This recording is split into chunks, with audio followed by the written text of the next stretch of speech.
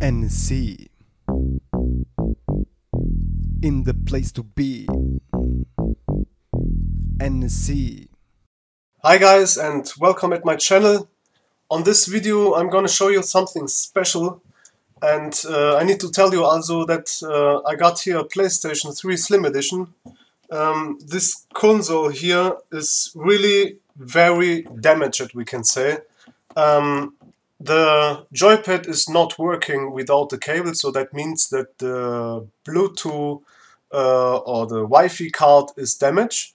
And when I try to install something, then I just get an error code like blah blah blah F1 F9, and I have just googled it and I saw uh, this is a um, Wi-Fi problem. So that means when you got a PlayStation 3, if it's slim or fat, it doesn't matter if you got one that has a broken Wi-Fi card or the Bluetooth is damaged or whatever, um, then you will not be able to install something because you will every time uh, where you want to try to install something, uh, you will get this error code. Okay, so that means um, if you are trying to install a original firmware or a custom firmware, it doesn't matter. You will always get this problem because all firmwares tries to check your hardware from your PlayStation 3.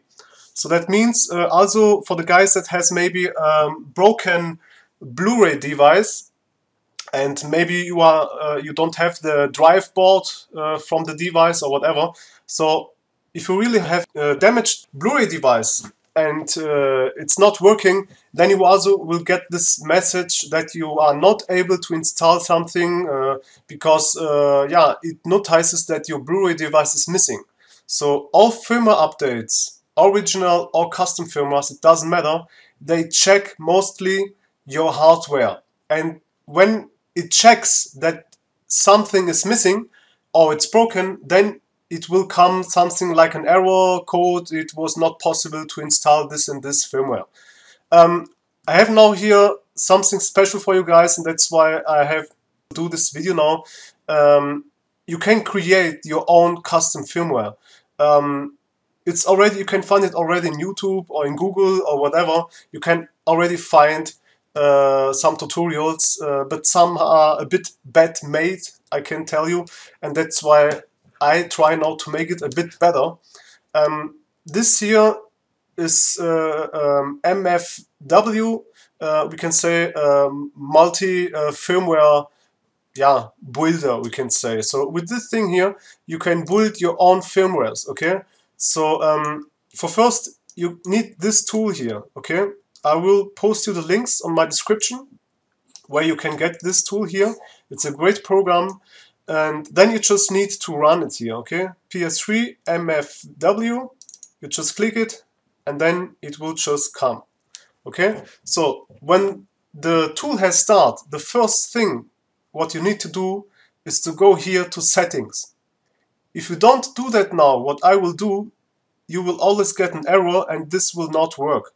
So let's say um, this is not set it, browse, and let's set something else here like that uh, and save, um, this will not work now. Um, now uh, to keep going on, you need an original firmware, but this is meant uh, for the custom firmwares. Um, this will solely not work for the original firmware. So that's why you need here a custom firmware. It's not matter if you have Rogero or Rebug or or Arch or whatever. Uh, you need a custom firmware, whichever it's uh, up to you guys. And um, I got uh, now one that has work and it was uh, the Rogero Downgrader. This was the only one that has work on the PlayStation because my PlayStation had a broken Blu-ray device and a broken Wi-Fi card. And the Wi-Fi card is also the card where the Bluetooth is working. And so that means that I can't use my controller without cable because the Wi-Fi is not working. Okay, so no internet, no Wi-Fi, no, uh, no Bluetooth. And um, now let's uh, go here and uh, let's check our custom firmwares. And I got here some, like you can see. And um, the Rogero Downgrader like you can see here, is the only one that makes it possible to install also on damaged PlayStations, we can say, with a damaged Blu-ray device or a damaged Wi-Fi card. Um, I can tell you why. This Rogero downgrader is the only one that has no checks. So this downgrader here will not check your hardware. So that means it will just uh, yeah, keep installing and it will not check if you have a Blu-ray device or not. It will not check and that's why the Rogero downgrader will always be able to install on a custom yeah, PlayStation. Um, the next thing what you should do after the downgrader is normally the Rogero 3.55 version 3.7. And then if you got installed this one, you can keep going and install whatever you want. But these are ones, in my eyes, of the importance, and then you can install Rogero 450, or you can go on and uh, you can say I want Habib, or I want uh, Rebug, or whatever. Um, the things now, like I told, the Rogero downgrader is always working, also on consoles where the Blu-ray device is missing, and also where the Wi-Fi card or whatever is broken. The next thing is also the next step you shall do is to install Rogero 3.55 version 3.7 and here it will fail. It you will not be able to install because it will come a error code like blah blah blah whatever is broken. And it will not allow you to install the firmware. So you will be forced to stay with your downgrader we can say on these broken consoles. Um, if you want to install this, if you want to be able to install this, you need this tool here, um, like I have shown you now, the PS3 MFW uh, Builder. And you can download this from everywhere. Um, a great guy also uh, Sid has shown me this tool here, um, but um, it was very difficult to let it run because you need here a lot configurations. So um, let's keep doing the work. Uh, we want now to do us uh, own Rogero 3.55 V or V3.7 firmware without checks. Because the problem is this firmware here has these checks. It will check if you have a Blu-ray device and it will also check if you have um, yeah, a Wi-Fi uh, card working or not. And if it notices that something is wrong, it will not install this firmware. Okay, so that's fucked up. Okay, guys, now let's go and uh, go to the update and it's this one, then you need to set it. Okay, now we have our original firmware. We can say our original custom firmware. And then you need also to set the location where you want to save it. Okay, we can go here on the desktop then we can do a new folder and we will uh, do something like test okay custom firmware test. We can do custom firmware test. Alright, here you can open it and then you should here go on and write the name ps3 up dot not date. ps3 up dot dot pub. But normally you don't need this dot pub. You can just write this ps3 up dot and it's fully enough. Then you go here and save it. So the other problem that I have told you about the settings here is if you got these settings wrong here and maybe if you got this one here add a custom message to the new futures installation screen then you will also get an error. I will now just for fun uh, start this and uh, this will make us uh, own firmware we can say and uh, you will see uh, we will get some errors. Let's begin now and you can see this is not working and here we go. Now we got here fatal error. okay, um, yeah, this shocked me the first time, uh, but it's nothing bad. You can go on and say, okay, the first thing what you should disable is this shit here. Okay, whatever you type in, this will not work. I don't know why, but it will not. Okay, so add a custom message. You don't need it. Okay, just disable this shit. The other thing is also to disable all these checks, you should click on Patch Pub, Change Version and More. You go here, be sure that you got this one here activated, and then you go to configure, okay? Here you should select this three. This will move the Blu-ray drive and all the rest. And the last down here will remove the Bluetooth firmware. So that means it will remove the Wi-Fi card and Bluetooth firmware. All these checks will be now removed. So this will not check anymore. Hallelujah! and um, then you should go here also, just to be sure. You go here and select a low firmware update of console with broken Blu-ray devices. So here you can also configure and you can go on and click also this too. Okay? Now, the most important is that you go here on settings and then he needs the PS3 case. They are all automatically set it. You just need to show him where it is. You just click here at data, okay, and okay. Then save it and now this program will restart, we can say. Okay guys, so he still have save all like we have done before, I think. Here's the original custom firmware that you should add, yeah, Rogero 3.55 V or V3.7, okay? And then you should also add your uh, location where you should save it. Then let's go on here, like I told.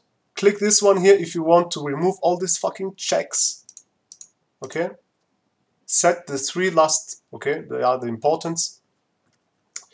Then you can type here something like, uh, yeah, no checks. This will also be displayed on your PlayStation 3 update screen. Okay, but it's not better. You can also type here by NSC. okay, guys, I'm sorry I'm a bit sick. oh, I was a bit sick and now I'm getting better.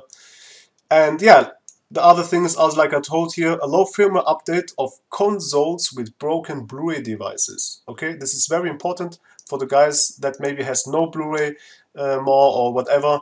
Um, you still will be able to use a custom firmware and that's the most important thing I think because the rest you can do also over your USB stick and whatever.